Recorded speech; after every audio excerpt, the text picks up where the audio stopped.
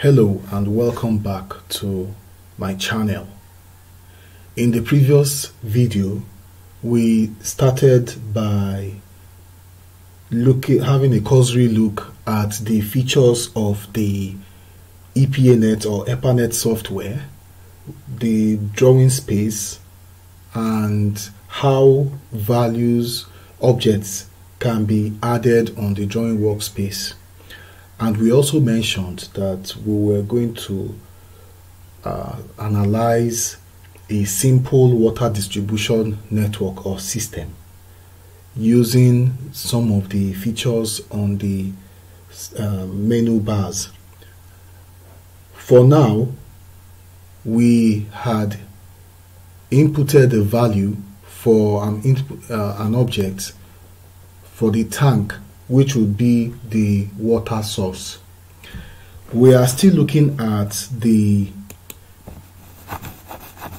drawing, this sketch, which we are going to draw and then we are going to also add hydraulic information on the various objects, hydraulic objects that we have. We have the tank, we have the pipes, and we also have the junctions or nodes.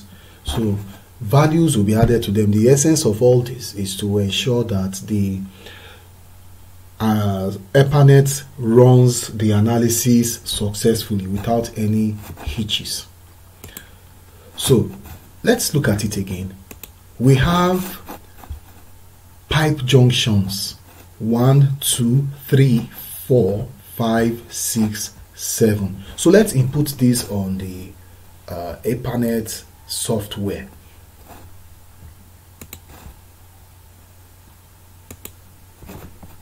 So I will go down to the standard toolbars. I will click on this uh, menu, which is for the junction or nodes. I'll click and then I'll begin to introduce those values. One, two, three, four, five, six, and seven. Now, you can see that the command for the junctions is still on. For me to uh, deselect it, I will click on this arrow button. And once I do that, it will revert back to its default, cursor default. The next step is to add the pipes. So I'm going to click on this uh, bar here, on this um, icon or button for the pipe and then I will click on the center of, I'll start with the tank, I'll click on the center and then extend it to the center of the first junction and there I have my pipe 1. Now let's look at the sketch again. So that's P1. So P2, P3, P4, P5 will be drawn as indicated on the sketch so I will continue. The command is still on so I can click on the middle of this and then extend it down and click. Once it's established on the middle it will show and that is pipe 2 I will click again and extend from junction 1 to 4 to give me pipe 3 I shall continue with this procedure from junction 2 to junction 3 to give me pipe 4 and then from junction between junction 4 and 5 I should have pipe 5 I shall continue with this procedure for the other uh, links to connect all the junctions to the pipes and then we'll now have a network. So we have added all the other lines or links to represent the pipes in the network. So let's label the tank by clicking on this uh, button. And just beside it we click so that we can label it as tank. Press enter. So the next step is to add the hydraulic uh, parameters for each of the objects on the drawing space. So we shall start with the tank and by either okay sorry so let's click on the information on this uh, side on the right hand side of the drawing space. And here we see the dialog box will appear where we have the label editor. Now we have already labeled it as a tank and the x and y coordinates has been presented. In real life situations it is possible for these coordinates to be obtained from maps or satellite imagery. And so information on this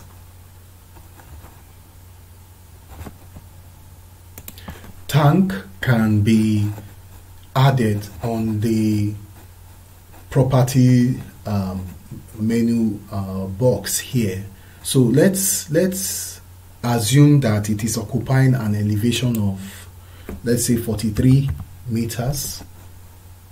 Let's assume the initial uh, level to be 10 the minimum level to be 0 and then the maximum level to be 15 let us leave the diameter to be let's say 35 now we may wish to click this and close the editor.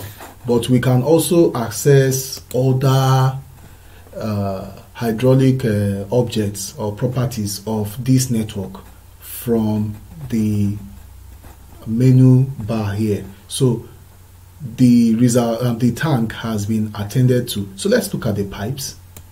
And you can see that from the editor we can assess the features of the hydraulic properties of the pipes.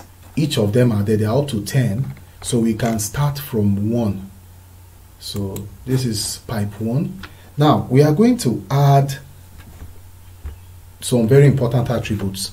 First of all let's look at from our defaults. When we set the hydraulic uh, some hydraulic properties we can see the pipe roughness. We set it to be 0.1 meaning that we are using PVC pipes and we're also adopting the Darcy-Weisbach equation.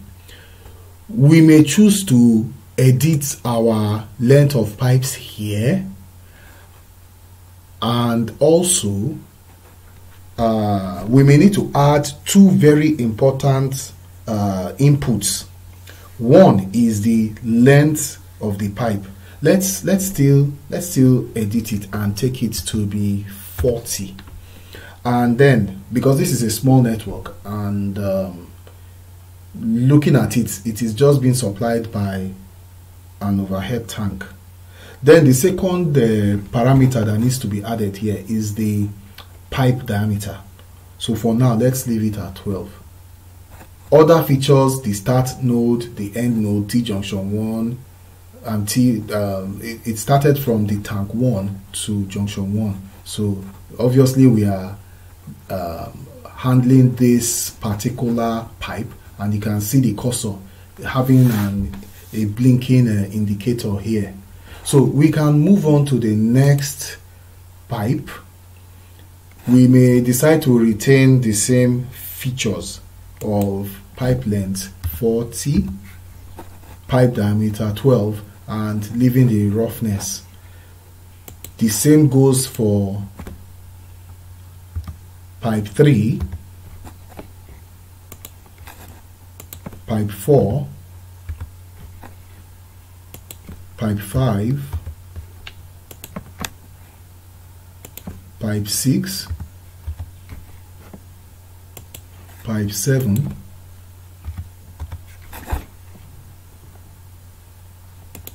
pipe 8 and pipes 9 and 10 In our next video, we shall look at how to add the nodes, the values, the hydraulic properties of the nodes, and then run a simple simulation.